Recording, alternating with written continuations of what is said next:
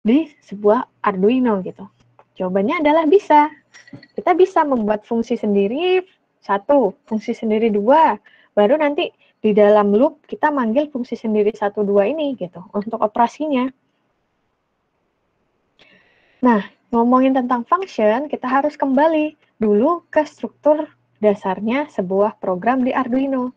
Di mana kita kembali lagi bahwa yang pertama dilakukan adalah mendefine variabel-variabelnya apa. Terus kita harus buat uh, fungsi setup dan fungsi loop gitu kan ya. Intinya kan tiga ini aja.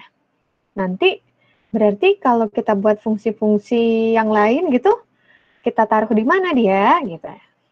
Kita harus definisikan dia di setting up function.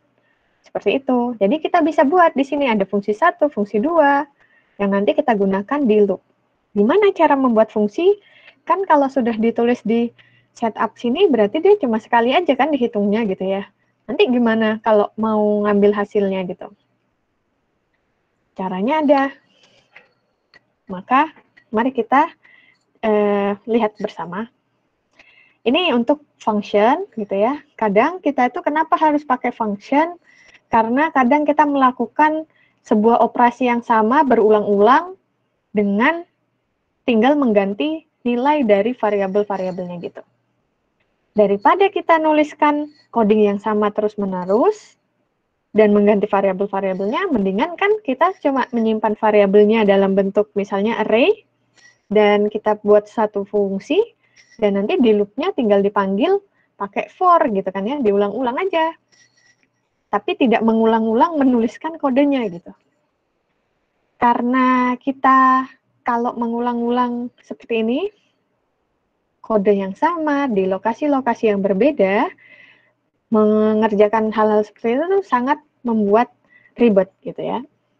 Dan akhirnya makanya kita membutuhkan yang namanya function untuk bisa menyederhanakan pekerjaan membuat kode yang sama berulang-ulang di lokasi-lokasi yang berbeda. Bagaimana caranya? Caranya seperti biasa. Definisikan dulu data type-nya apa, baru kita tulis namanya apa. Nah, bedanya kalau variabel tinggal namanya apa gitu kan ya. Tapi kalau function dia harus ada ini e, tutup kurung dan eh, buka kurung dan tutup kurung. Terus gimana cara menuliskan functionnya? Ya udah, habis kita tuliskan namanya, kita ada buka kurung kurawal, tutup kurung kurawal. Ini artinya apa? Statement ini adalah satu fungsi sendiri, seperti itu. To create a function that doesn't return any data value to the calling program, you use the void data data type for the function definition. Artinya apa? Ketika kita menggunakan void di dalamnya, maka ketika proses ini dikerjakan, e, nilainya itu tidak akan bisa kita akses gitu. Gimana ya? Dia tidak akan dia hanya akan memprosesnya di dalam gitu, tapi kita sebenarnya kalau di bagian loop, kalau si fungsi ini nggak diambil, eh, nggak dipanggil gitu ya, kita tidak akan tahu nilainya berapa. Begitu kira-kiranya. Jadi misalnya pun di MATLAB kalian mengerjakan gitu ya function, terus di dalam program utama kalian memanggil function tersebut, ketika function itu dihitung, kan banyak variabel yang dipakai di dalamnya. Di main programnya itu dia nggak akan tahu gitu prosesnya gimana. Hanya keluar apa? Hasil dari fungsi tersebut. Begitu kira-kiranya.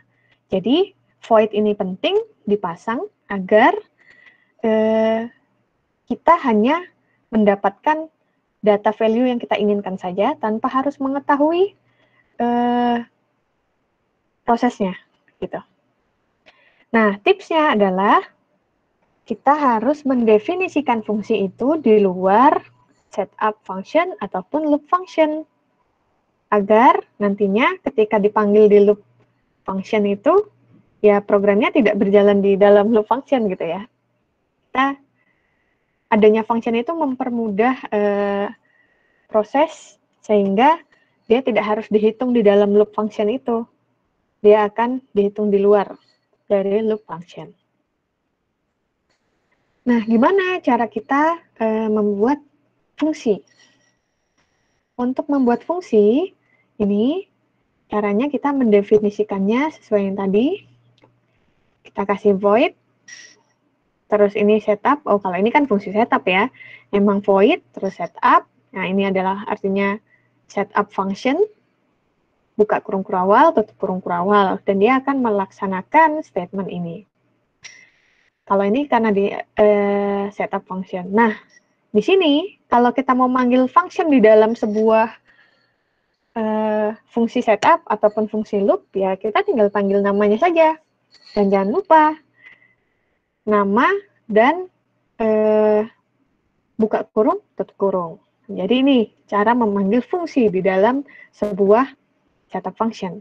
Berarti ini juga fungsi dong? Iya, benar. Fungsi setup. Nanti loop juga ada begininya karena dia memang fungsi loop gitu ya. Nah, kalau sudah kita panggil my function gini, berarti kan dia ngerjain, dia me menyuruh si my function untuk melakukan pekerjaan sesuatu gitu kan ya. Nah, di sana berarti kan sebenarnya kita memerlukan data yang ada di my function itu untuk kita olah di sini gitu kan. Nah, gimana cara kita mendapatkan data dari pengolahan di fungsi tertentu ini? Gitu. Caranya dengan menuliskan return value.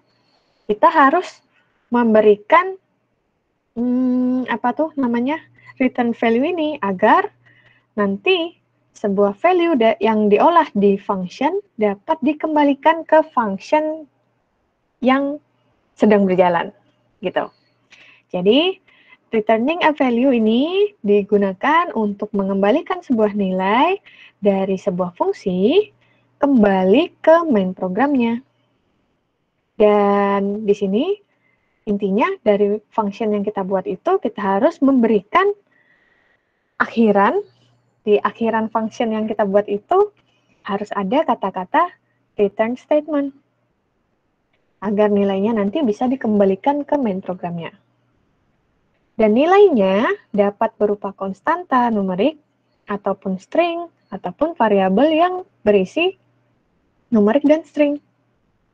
Walaupun eh, intinya data itu bisa data numerik, data string, ataupun dua-duanya ya, tapi tergantung dari inisialisasi yang kita kerjakan di awal. Jadi semua itu tipe data apa yang harus kita kembalikan ke main program tergantung inisialisasi kita gitu ya. Dan di sini contohnya dalam membuat fungsi dan cara bagaimana membuat returning a value-nya gitu di dalam fungsi tersebut. Ini adalah fungsi integer dengan nama myfunction2 dan di sana ada sebuah variabel yang harus diinisialisasikan berbentuk integer juga dengan nilai 10 kali 20. Kemudian, nilai dari value ini harus dikembalikan ke main program.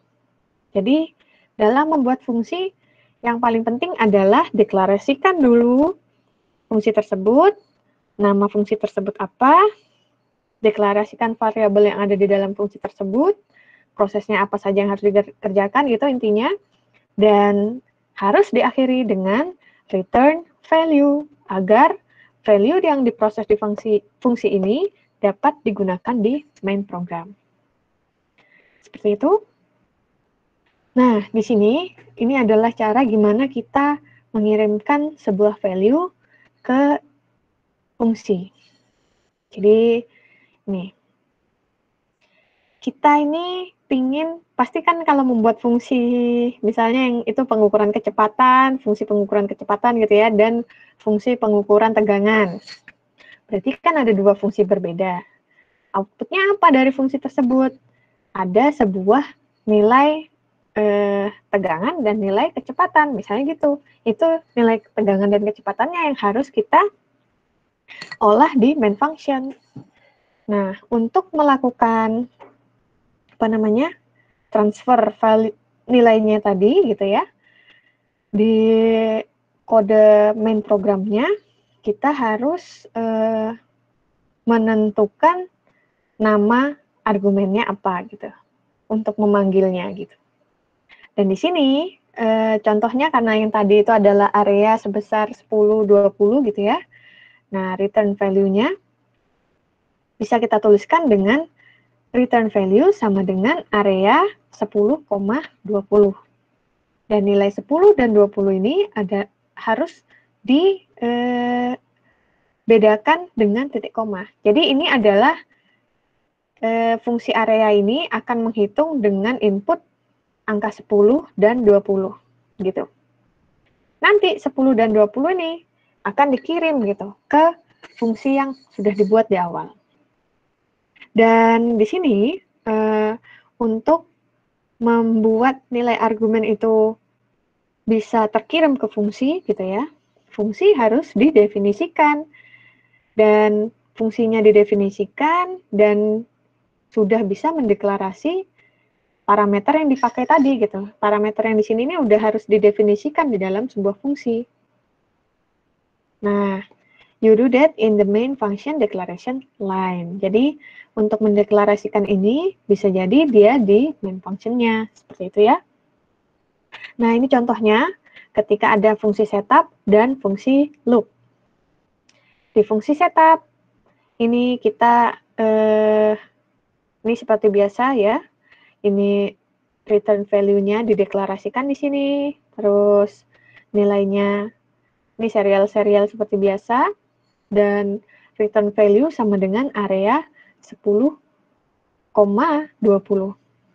Nah, di sini si 1020 ini dikirimkan ke fungsi my function yang area gitu ya. Nah, ini fungsi. Jadi kalau di sini menghitungnya cuma sekali nanti dan nilainya itu dimasuk eh, maksudnya inisialisasi parameter yang akan dikerjakan di fungsi itu dia pasang di setup function. Fungsinya sendiri ada di mana? Kalau di sini fungsinya ada di loop function. Nah, di sini dia cara mendeklarasikan sebuah fungsinya. Data type dari fungsi tersebut apa? Integer. Nama fungsinya apa? Area. Apa parameter yang harus dihitung di dalamnya? Integer width, integer height. Bagaimana proses yang harus dilakukan dalam fungsi tersebut? result sama dengan width kali height. Gitu ya. Dan nanti hasilnya apa? Hasil yang harus dikembalikan adalah ini. Result ini yang harus dikembalikan ke fungsi ini. Jadi nanti return value ini isinya apa? Isinya adalah result yang udah dihitung di fungsi width kali height ini. Kira-kiranya begitu. Jadi, dalam membuat fungsi, hmm, kita bebas menaruhnya di mana gitu sebenarnya. Tergantung tergantung apa ya keinginan si desainernya pengkoding ini loh. Dia memerlukannya untuk operasi apa gitu. Tapi dalam membuat fungsi yang perlu diperhatikan adalah fungsi tersebut harus dideklarasikan dan diberi return value agar nilai yang dihitung di dalam fungsi tersebut bisa digunakan untuk proses yang diinginkan gitu ya. Nah, seperti itu. Nah, sekarang bagaimana cara kita menghandle variabel di dalam sebuah fungsi? Jadi, eh, menghandle sebuah variabel di dalam sebuah fungsi ini kadang tricky gitu ya. Karena eh, variabel yang didefinisikan di dalam fungsi bisa jadi berbeda dengan variabel reguler yang di luar fungsi yang kita deklarasikan itu. Dan kita tahu bahwa sebuah fungsi itu di dalam sebuah fungsi terdapat dua buah variabel. Ada yang global variabel, ada yang lokal variabel. Bagaimana cara kita mendefine global variabelnya? Cara definingnya adalah dengan menuliskannya sebelum setup function.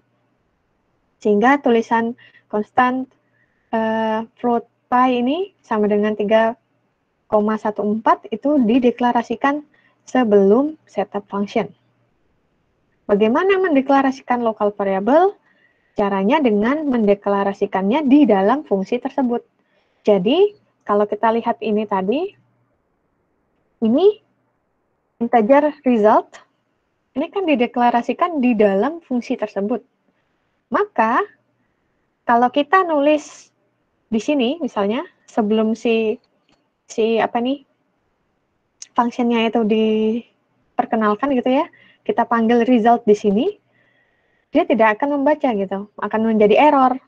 Karena si result ini adalah lokal variable bagi fungsi area. Dia bukan eh, global variable. Berbeda kalau si integer result ini sudah dijelaskan di eh, sini ataupun di atasnya setup gitu ya. Dia akan jadi global variable. Kalau sudah kita pakai di global variable sini, kira-kira nanti apakah dia akan bisa dipanggil di sini tanpa harus dideklarasikan? Eh, Jawabannya bisa. Tapi kadang ini membuat bingung si Arduino gitu ya. Karena fungsi itu biasanya bergeraknya tuh kayak private gitu hanya akan e, berhubungan dengan variabel-variabel yang lokal yang dia deklarasikan di dalam fungsi tersebut.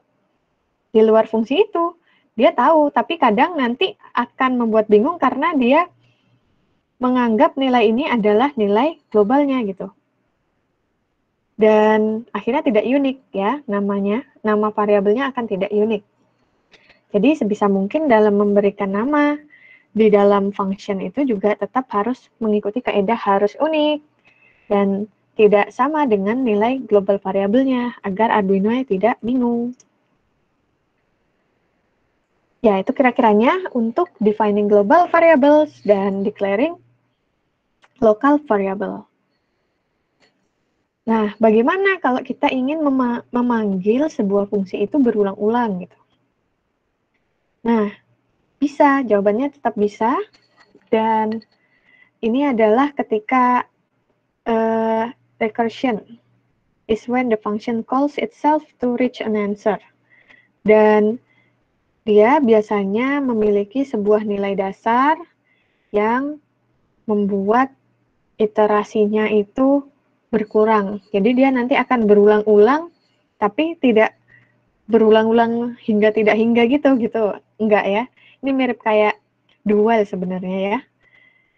Tapi bisa juga sih kalau kita membuat dia tuh jadi kayak loop forever. Intinya memanggil fungsi itu bisa berulang-ulang sesuai dengan keinginan kita. Entah itu nilainya mau kita set dia berulang-ulang dengan memenuhi syarat tertentu dan akhirnya dia akan berhenti sendiri atau dia berulang-ulang terus hingga mikrokontrolernya nanti mati sendiri gitu ya. Nah, di sini ada banyak algoritma yang bisa digunakan untuk proses rekursi dari sebuah fungsi. Dan salah satunya ini adalah untuk uh, ini dia akan apa namanya ya berulang-ulang hingga menemukan nilai dasarnya dan dari setelah bertemu dengan nilai dasarnya nanti dia bisa mendapatkan sebuah solusi seperti itu. Nah, di sini kita kan bisa memanggil fungsi di dalam fungsi gitu ya. Jadi bukan hanya loop yang ada loop di dalam loop, fungsi di dalam fungsi pun ada gitu. Dan di sini adalah contohnya ketika ada fungsi faktorial dengan variabel integer x di dalamnya dan fungsi faktorial juga bertipe integer dan di sana ada proses pertanyaan if x kurang dari sama dengan satu, nilainya akan satu. Else adalah ketika eh, nilai dari sebuah fungsi itu dikalikan dengan eh, nilai nilai ini, nilai fungsinya dikalikan dengan hasil dari faktorial x min 1. Jadi, ini kan faktorial x min 1 sebenarnya adalah fungsi ini kan value dari fungsi yang sedang dia jalani sekarang, tapi dipanggil di dalam fungsi dia sendiri gitu ya. Cuma kalau yang kayak gini nih, eh, gimana ngomongnya ya? Bisa jadi nanti itu dalam memprogram akhirnya kita bingung gitu kayak cendok kita bingung oh mana yang head and tail? Mana kepala mana buntut gitu ya. Mana kepala mana buntutnya bingung. Jadi kalau bisa sih fang, e, faktorial yang di dalam sini ini bisa kalau diperlukan tapi menurut saya hmm, sebaiknya ya tidak dilakukan sih karena nanti itu tadi kebingungan jadi operatornya untuk melihat mana yang awal, mana yang akhir gitu. Karena tentu proses seperti ini harus memerlukan inisialisasi di awal. Nah, sekarang ngomongin tentang structs. Jadi ini adalah data structure yang membuat kita dapat mendefinisikan berbagai tipe data types, berbagai tipe data. Dan ini nih eh, berhubungan dengan elemen dari data yang dapat direpresentasikan sebagai sebuah objek. Sebelum kita menggunakan data structure di sketch kita, sketch itu apa? Ya programnya Arduino itu kan namanya sketch. Kita harus mendefinisikan data tipe struct ini gitu. Dan untuk mendefinisikan data structure ini, kita harus menggunakan statement yang namanya struct, kependekan dari structure. Dan cara formatnya untuk mendeklarasikannya adalah tetap sama struct, nama dari data yang kita uh, ingin cek ini, data yang ingin kita definisikan, terus buka kurung kurawal, tutup kurawal, dan nama variabelnya apa di list. Nah, di sini structure structure data itu maksudnya adalah ketika suatu variabel ini harus menyimpan beberapa tipe variabel gitu ya. Jadi bukan hanya integer integer integer, bisa juga dia menyimpan integer char integer misalnya gitu. Jadi kombinasi dari data yang akan dipakai di sensor info ini adalah kombinasi menggunakan char dan integer. Nah, kita bisa nyimpan ke variabel ini. Kelompok variabel ini bisa kita simpan dengan data structure. Namanya sensor info, begitu. Cara deklarasinya sama seperti yang sebelum-sebelumnya juga, di mana kita tentukan dulu format datanya apa, structure, dan nama dari variabel. Nah, kemudian ini contoh dari declaring dan memanggil gitu ya. Cara mendeklarasikan variabel-variabel itu dan gimana cara memanggil si data structure ini. Untuk mendeklarasikan caranya sama seperti yang tadi sudah saya bilang dan untuk memanggil di sini ketika kita sudah deklarasikan dan ternyata di fungsi setup kita kita perlu memanggil eh, data-data eh, tersebut gitu ya. Ya tinggal dipanggil saja di sini ini eh, kalau di sini morning temperature. Oh ya, di sini ya. Jadi ini nih bagusnya adalah ini kan berbeda-beda. Sudah kita deklarasikan char, satunya integer indoor term, ini satunya integer outdoor term. Nah, output dari data structure ini ketika kita gunakan di fungsi utama, kita tinggal memanggil bukan manggil date lagi, bukan manggil indoor term lagi, ataupun outdoor term. Kita tinggal panggil morning temperatures, noon temperatures, dan evening temperatures. Nah, jadi nanti di main programnya kita tinggal panggil morning temperatures, ya kan? Di mana morning temperatures ini bisa jadi yang dot indoor temperature atau mau yang outdoor temperature bisa diolah. Dan nanti di yang lainnya lagi terserah di mana eh, si operator ataupun desainer programnya itu gitu ya.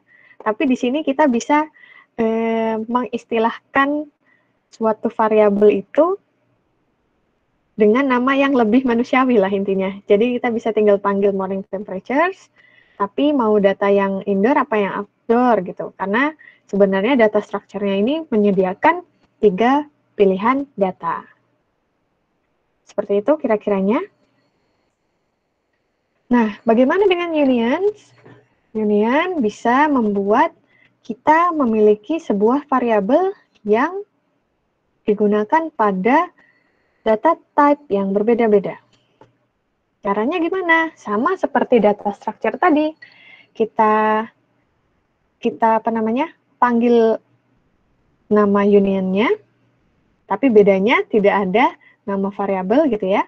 Tinggal union, buka kurung kurawal, tutup kurawal, dan e, di tengah-tengahnya dituliskan list variabel apa di dalamnya. Di sini, kalau union di sini juga sama bisa mengakomodasi beberapa tipe data yang berbeda gitu kan. Ada float, ada integer untuk analog input dan digital input. Dan dua buah data ini nantinya lah representasi dari sensor input. Di main program, apa yang tinggal kita panggil? Sensor input saja. Sensor input apa? Sensor input dot analog input atau sensor input dot digital input. Nah, di sini. Jadi kita bisa tinggal e, memanggilnya seperti ini. Dan ini analah untuk, kalau ini untuk menyimpan value, setelah kita panggil dia harus menangkap value kan, makanya dia sensor input dot analog input sama dengan my function one. Bagaimana untuk mendapatkan hasilnya ya tinggal dipanggil saja sensor input dot analog input seperti di sini. Nah, sekarang untuk